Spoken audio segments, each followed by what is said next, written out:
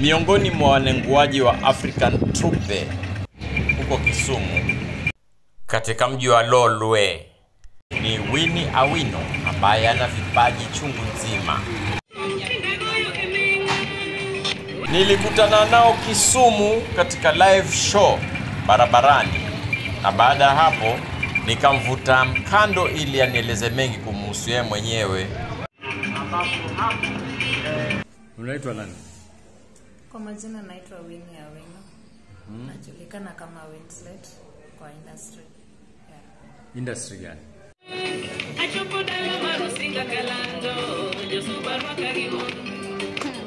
Mimi ni mchezaji, ni mchezaji mpira na nacheza mziki, Kwanza moja, mpira unacheza mpira gani? Wapi? mcheza mpira wa kandanda. Ehe, wewe niko kwenye timu ya wanawake Ndiyo, ya wapi? inajita Kisped, napatikana hapa Railway, Lolwe. Lolwe mjini Kisumu. Kwanza wewe ni mkazi wa wapi? Okay, kuzaliwa nimezaliwa mji wa Oyugis, Homa Bay. mm -hmm. Ya wazazi wangu bado wako wai. Babangu ni engineer, anafanya construction, Wapi? ana, anaitwanga kazi, ni wajua kali. mm -hmm. Mama wangu amesoma kazi ya hoteli, lakini kwa saizi yako chini sababu ya ugonjwa, hawezi hawezi kutembea muda mrefu kuendelea na kazi zake. Ako na arthritis. Oh, Ugonjwa ana miaka mingapi? Ako na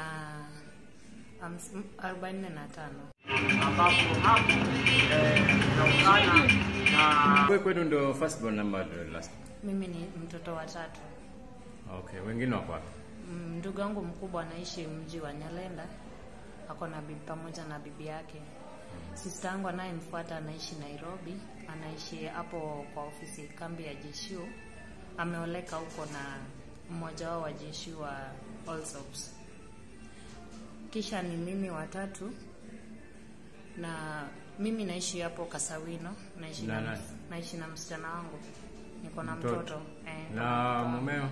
Hapana, Oh, huko leo. ah, sijaoleka bado. Okay. Alafu niko Una na watoto wangapi? mmoja tu Mhm. Mm Ana miaka mingapi? ana miaka sita.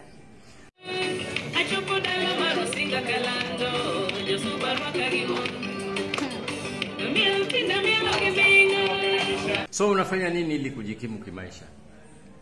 Nilikuwa na nacheza mpira ndio niweze kulipa rent yangu na pia Huu mpira unaweza kucheza pako ukalipa rent? eh, Kivipi? Hebu tueleze.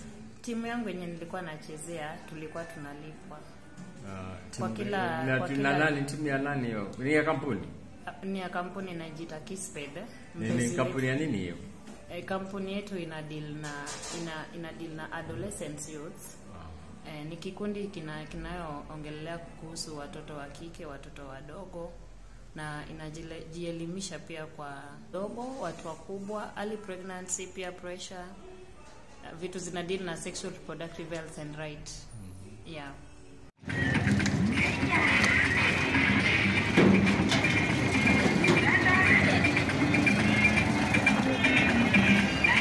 Sasa hii football, kwa nini ulipenda football? Na football ni kitu wanaume ndio wanapenda peke yake.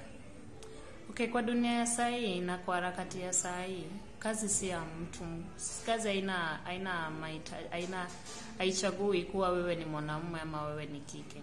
Okay. Yeah, kama mimi ninapenda mpira, Ulikupeleka mpaka wapi mpira?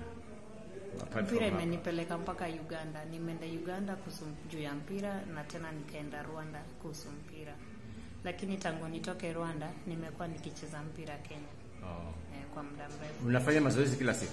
Yeah, nafanya Hata mazoezi leo? kila siku. Leo sijaenda kwa hii wiki yenye tumekuwa na Babu Sultana, sijaenda training kidogo.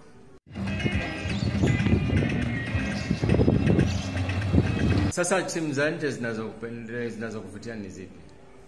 Ama timu yako ni ipi ya nje? Timu yangu ya nje yenye napendelea ni Manchester United. Ehe. Eh, ni mimi ni fan wa Manchester. Unaijua lineup yake? Yeah, najua najua sijui sijui sana penye imekuwa based but napenda venye wanacheza. Wachezaji wake wanacheza.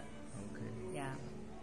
Na nchi eh, ni gani unapenda nchi kwa football? Kwa mfano Brazil. Brazil. napenda Bra okay kwa nchi napenda teams mingi si moja Okay. napenda australia napenda ghana napenda brazil pia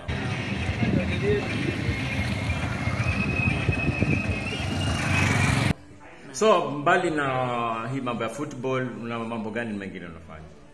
okay kwa mimi kwa masomo nimesomea engineer nimefanya mechanic kutengeneza gari Yeah. Eh, sasa kwa kwa shule nafanya kazi ya engine, lakini nikienda pale nje kwa field nafanya nafanya kazi ya kuweka screen ya gari na kupaka gari rangi.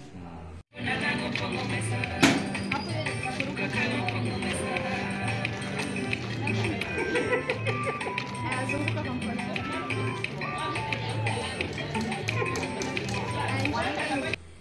Mbali na hayo, mimi ni mwana mazingira. Ehe. Kwa hizi products zenye mnaona hapa, si products tu hizi za kawaida, isi ile ya kutengeneza, isi ile makuti ya kutengeneza jambi Mm. ama viti. Hii ni water hyacinth. gugumaji ambalo limewahangaisha wavuvi na watu wengine wa kawaida huko Kisumu, mji wa Lolwe, yaani mji wa ziwa Victoria. Oh, hii gugumaji lilikuwa liko Lake Victoria. Yeah, Mlilikata lile mkatengeza. tunazitoanga kidogo kidogo tukitengeneza nayo hizi products Hii ni product gani sasa? Inaji, tunaji, tunaziita tu Ramina Polet Eco product. Yeah. Ramina Polet Eco product ni ni product ilianziwa mwezi m- m- ni mwaka wa ishirini na ishirini Saa zile hiyo hiyo hiyo muda ilipata kama tuko kwa hii msimu wa corona.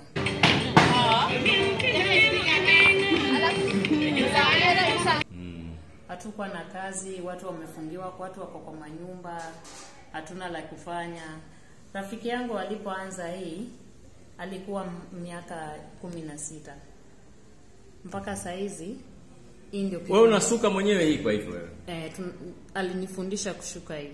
Sasa saizi naweza shuka. Sasa hapa hii ni, ni ya kutumia kufanya nini? hii ni ya kuweka, hii ni pencil holder. Oh, kwa ofisi sasa unaweka pencil. unaweza tumia kama pencil holder ama kwa toothbrush. Yeah. Kwa wasichana wengi wao wanakuja kuinunua kutumia vitu zao za kupaka macho Inaitwa makeup. Tunaita tu pencil holder. Ah, Yeah. kwa Kijaluo. Kwa Kijaluo ina jina, baada tujaitengenezea jina. Okay. Sasa ukikuja kwa hii hii ni water hyacinth, recycled water hyacinth. Oh. Hii hizo vitu hapa katikati hizi ni ndani ama ni nini? Hapana, hii karatasi Oh, hiyo ni karatasi. water icing product uh -huh. imeongezwa na waste papers. Kuna hizi makaratasi. Mnatumia machine mashine gani kuiongezea iwe hivi? kuna recycled machine eh, Na mnatumia kwa sasa kwa, kwa kutumia kwa ni kadi, ni kadi ya ni kadi ni postcard. Ni postcard unaweza nunulia mpenzi wako unaweza nunulia rafiki yako unaweza nunulia mtoto. Lakini kwa hizi chuma tunazitumia tu kudecorate. Ndio oh. Tuwezi tuenda tu kutukuuza hii karatasi hivi. Sasa tukikuja kwa hii hii unaweza tumia kama serviette holder kwa mahoteli kwa nyumba. Na pia unaweza wako wasichana tunaweza itumia kama ka, kama kapochi yetu tunaingiza vitu zetu ndani kisha unaweza iweka hapa ukitembea nayo. Mbali na hayo tuko na hii inajiita table coaster. Mm. table coaster ni hii ukishatandika meza unaweza tandaza juu ya meza kuweka decoration ama ipendeze. Na pia mbali na hayo tuko na hii kubwa. Hii kubwa pia ni ya meza na pia unaweza tumia kwa kubeba glasi yako ya maji ama kikombe chako cha maji. Na pia kuna kubwa ya hii yenye unaweza tumia ku hold laptop juu laptop ukiweka hapa iko na infections mingi. Saa zingine ulikuwa umeiweka kwa mapaja na ilikuwa kwa stima ina charge saa zile stima ina charge na iko kwa mwili yako ina affect mwili yako. Damu pia ina inarudi chini.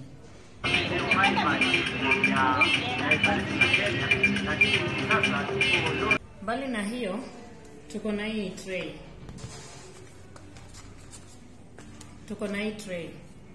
Hii tray tumetumia tumetumia bidhaa mbili kwa kuitengeneza. Kuna haya sinapa ndani alafu hizi kando tumetumia chuma. Kwa hii chuma tunainunua. Tunainunua kando na hii. Kwa wengi wa, kwa wengi wetu tunaendanga tukifanya campaign. Kama hii tarehe tatu yenye nakuja tutakuwa na climate strike anytime tumeendanga huko Dunga Beach kufanya usafi lazima tutokane na water hyacinth kidogo ndio tuende tuweke tutengeneze nayo hizi bidhaa zetu. Sasa hizi mnauzaje hizi hizi zote hapa mnauzaje? bei ziko kando. Mm -hmm. kama hii elfu mbili mia tano. Lakini kuna bei ya kuongea. Kama ni mwafrika kama mimi kuna bei ya kuongea. Lakini kama tumeenda huko nje kwa wazungu tunapiga bei ingine. Na zinanunuliwa kweli kweli. zinanunuliwa. Kwa hii hii ni mia nne Inakuchukua siku ngapi kutengeza hiyo? inanichukua one week wiki One moja week. Zote hapa hizi. hapana hii ni wiki moja hii ndio inaweza enda kwa muda sababu ya kupata hii chuma saa zingine tumeenda penye tunazichukua tunaambiwa ya ziko so lazima aende atuchomelee ingine eh, Naona kuna kitu kingine hapa. hii ni savietol Ah, tunaongelea kuhusu hii. Hizi kuna harakati gani zingine ambazo una tunatengeneza meza utupee frame ya meza tutengeneze Tuku- tunatengeneza viti na pia kitanda Hiyo ni grupu yako ama ni wewe mwenyewe individual? si yangu si yangu si, si, si mimi mwenyewe Mm. tuko watu wengi tuko karibu watu mia mbili na kumi na sita Grupu yenu inaitwaje? inajiita kisumu environmental champion kundi ambalo limelisafisha sana ziwa Victoria. yeah. Nani alianzisha hiyo? Msichana utu huyo huyo mwenye nimekwambia anaitwa ramina mm -hmm. yeah. Oh, sasa nyinyi ni members na kila kitu kinachotengezwa kwa hiyo group kina control mna headquarter yenu. Tu- tuko based hapa car wash inajiita mali inajiita goodka yeah. Ndio mna report hapo kila siku kama mmekuja kazini. Eh, kama tunaenda kama, kama tunaenda kuchukua hizi products tuende tuziuze yeah. tunaenda hapo tukikuwa na mko Hiyo chama ni ya wanawake ama ni ya kuna wanaume pia? Ni tumeungana tuko na youths tuko na watoto wadogo tuko na watu wakubwa na pia tuko na wazee kutushinda Ni chama ama ni NGO ama ni ni CBO ama ni, ni, ni CBO community based Eh. organization. eh. Saizi tumeichukua kama movement juu hatuko peke yetu, tumefungua mkono zingine. Kuna ingine Siaya, kuna ingine Nairobi, kuna ingine na Eldoret. Sasa huu msichana mdogo mwenye nimekwambia naitwa Ramina Polet, ni yeye ndiye alichukua alichukua wakati wa Wangari Madai. Wangari Madai alipokufa hakukuwa na mtu mwenye alikuwa anaweza tunza mazingira, na alijitolea kama yeye yeye mmoja akaanza kutusaidia kutunza mazingira. Ndipo sisi pia tulikuwa na hiyo tulikuwa na hiyo elimu, lakini hatukuwa na elimu ya kwenda kufungua uh, kikundi lakini yeye alijitolea na mamake, aliongea na mama, alikaa chini na mamake akamwambia mamake, mama, mi naona nifanye hii na hii. Na hii kitu nafanya italeta wana, watu pamoja, wanafunzi pamoja na watoto pia na watu wakubwa pia. Tukiwa hapo ndani hatuangaliangi ati ni mtoto, tunamwona kama mtu mkubwa, kama mtu mkubwa. Juu kupata mtu anaitwa CEO si rahisi. Lakini anajitolea manguo zenye tunavaa kama ilikuwa ya kampeni ya 20 29 20 Na sasa anafanya shughuli gani yeye amemaliza shule. Alikuwa anasoma Kisumu Senior. Alifanya form 4 hii ya- hii hii mwaka iliyopita mwezi wa sita. Amesoma international languages. Sasa yeye alisoma nje. Anasomea nje. Anataka kwenda university lakini anataka kwenda shule za nje. Sasa anajua languages gani? anajua French, anajua Kijama, Kijamani, anajua Kiegypt. Ametembea kwa hizi mji, mji zote. Kama hii mwezi wa kumi na moja mtu alimuita tu kama urafiki, aenda kae Europe. Amekaa Europe for mwezi tatu, ndipo alirudi tu karibuni. Tangu arudi hajamaliza mwezi, hajamaliza hata mwezi mmoja. Yeah.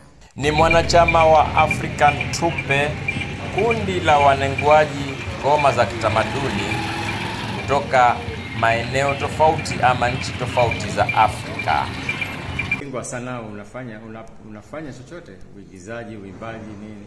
Usanii, usanii mimi nafanya nafanya nafanya kudance kukatika kwa kwa group ya Nyakusa Hawa- African Cultural Troupe Dancers, na pia niko na kikundi shule yangu penye nasoma inajita YMCA. Mbali na hizo, mimi ni mimi ni mentor, nimekuwa train as a mentor niko na certificate kumi na karibu saba za mentorship na pia I'm trained on a mental health advocate yeah but mbali na hayo kwa vikundi na kwa ma organization mimi nafanya mobilization Filamu film nimeai act kwa Angels of Nyalenda. Nilikuwa dadake msichana mwenye alikuwa main actor. Huyo anaitwa anajiita tunamjua kama Winnie Wenga. Na pia nimekuwa kwa Kisumu Kisumu artist. Nilikuwa nimeact kwa 16 days of activism. Hapo kwa Kisumu Kisumu Kisumu artist nilikuwa the main actor, niliact kama baba mimi ndo nilikuwa main character. Nilikuwa ule baba mwenye akuwa na pesa bali bali bibi yangu alikuwa na pesa, mara alikuwa ananitesa, alikuwa ananipiga. Lakini mbali na hayo, ikarudi ikakuja harakati yenye sasa yeye ana pesa, mimi ndio sasa nimepata kazi, nimeajiriwa. Sasa mimi ndio kila kitu kwa nyumba, mpaka yale tabia zake zenye alikuwa anafanya, mara kwenda kulala nje, kurudi kurudi saa ya mbaya mbaya, alirudi akaacha, akaona mwanamume ni muhimu kushinda mwanam mwanamke.